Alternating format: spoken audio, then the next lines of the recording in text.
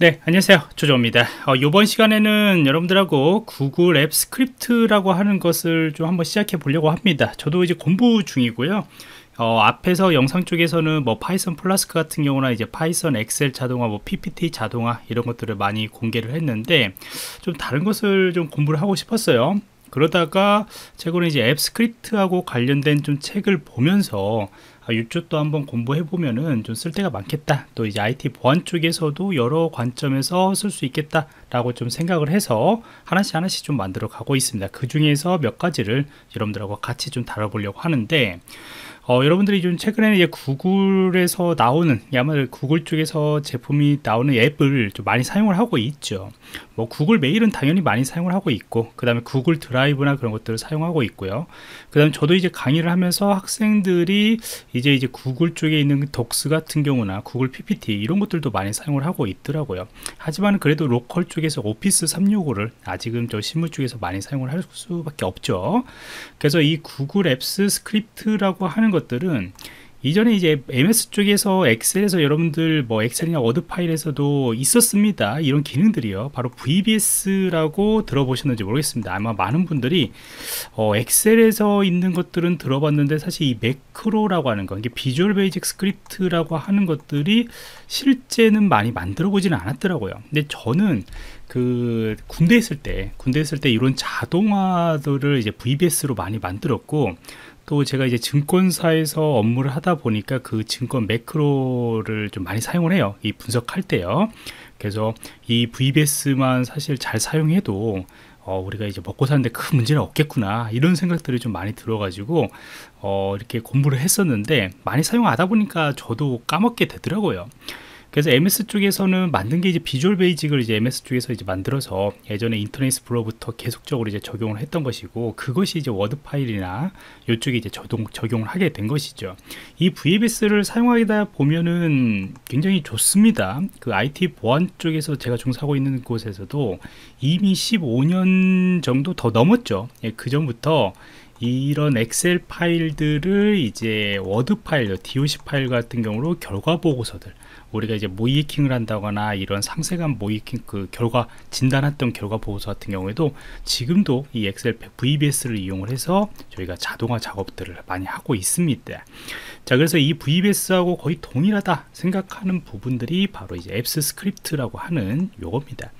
그래서 자기네들이 이제 여기 있는 게 구글 쪽에서 만들었던 것들의 앱들을 최대한 다 사용을 해가지고 뭔가 자동화 작업들을 하고 싶다. 뭔가 여러분들이 이렇게 엑셀 파일에서 가지고 있는 정보로 이메일을 보내고 싶다거나 아니면 요 스프레드시트라고 하는 이 엑셀 형태의 그런 데이터들을 이제 PPT 형태로 뭔가 자동화를 한다거나 이랬을 때 이제 Apps Script라고 하는 것을 이용해서 사용을 하게 됩니다.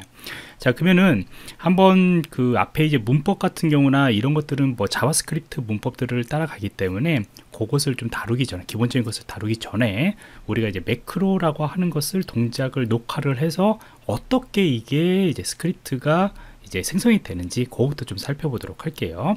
자 우선은 여러분들이 구글 드라이브 쪽에서 시트 하나를 만들어야겠죠. 그래서 이렇게 구글 시트를 만들어 주시면 되고 그 다음에 시트 하나에다가 저는 이제 데이터를 이런 식으로 몇 개를 추가를 했습니다. 나중에 이런 데이터를 가지고 이제 Gmail로 자동으로 이제 전송을 한다거나 이런 것들도 뒤에서 다루도록 할 것인데 우선 그런 데이터 이렇게 만들도록 할 것이고요. 그 다음에 이제 처음부터 Apps Script를 뭐 만들라 라고 한다면은 좀 어려움이 있죠. 저도 이제 책을 보면서 아니면 ChatGPT 같은 거를 이용을 해 가지고 이제 공부를 해야 하는 것인데 사실 요거부터 이제 이제 매크로라고 하는 것들을 녹화를 하고 난 뒤에 그 스크립트가 어떻게 생성되 되는 것을 보시면은 힌트를 얻을 수가 있습니다. 예전 MS VBS도 똑같습니다. 여기도 이제 매크로를 녹화를 하고 난 뒤에 여러분들이 그것을 이제 VBS 파일들을 확인했었거든요.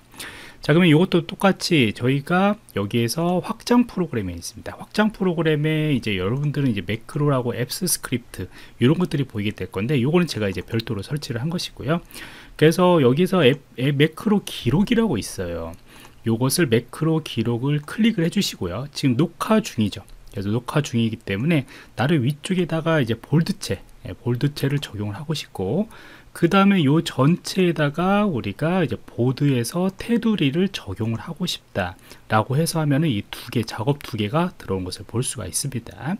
그 다음에 이제 저장을 하시기 바라고요. 그 다음에 요것은 이제 매크로 음, 테스트를 하시고 단축키까지 여러분들이 설정을 해줄 수가 있습니다. 나중에 요것을 이제 어떤 표를 만나던 여러분들이 select를 하고 난 뒤에 나는 이것을 이제 적용을 하고 싶다 라고 하는 것이죠. 하지만 지금은 우리가 여기에만 적용을 하게 됩니다. 자 그러면 저장을 하도록 하겠습니다. 그럼 새 매크로가 저장된 것을 볼 수가 있고요. 여기에서 스크립트 수정을 하셔도 되고요. 아니면 이쪽에서 Apps Script라고 하는 요 메뉴를 클릭을 해 주셔도 됩니다. 자 그러면 Apps Script를 한번 클릭을 해주시면 여러분들이 금방 녹화했던 것들이 매크로.js라고 하는 것으로 만들어진 것을 볼 수가 있습니다. 요거는 왜 두 개가 만들어졌냐면은 기존에 이제 제가 예, 제가 테스트를 했던 부분들이기 때문에 이렇게 만들어진 것을 예, 볼 수가 있고요. 자 그러면은 어, 하나만 좀 보도록 할게요. 하나만 살려가지고 좀 보도록 할 것이고요. 그럼 매크로.js라고 하는 요걸로 저장이 됐습니다. 자, 그 다음에 여기가 이제 코드가 자동으로 이제 생성이 됐는데, 이게 이제 스프레드시트 쪽에서 선택을 해서 그 값들을 수정하는 예, 그런 자동 스크립트라고 보시면 됩니다. 저희가 이제 작업을 이제 두 개밖에 하지 않았죠. 그러니까 짧다. 근데 여기서 보시면 여러분들이 이해를 할 수가 있겠죠.